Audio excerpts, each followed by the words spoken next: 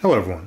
In this video I just wanted to really quickly explain what the hose that connects the carburetor air box to the block does. I'm sure all of you have seen this little hose that is kind of at the bottom of the carburetors. As you can see the carburetors are mounted like this. And there's a hose that connects to the block. All this is is a fuel safety hose.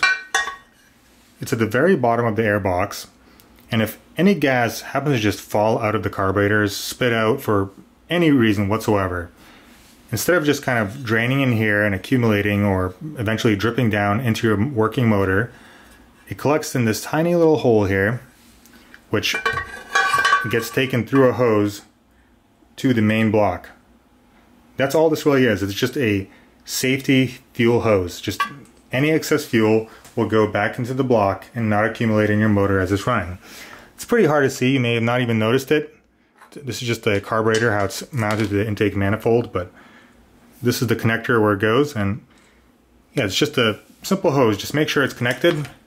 Nothing really to worry about, but if you're wondering what this is, that's all it is. It just gets rid of excess fuel. I'll show, show it a little closer here.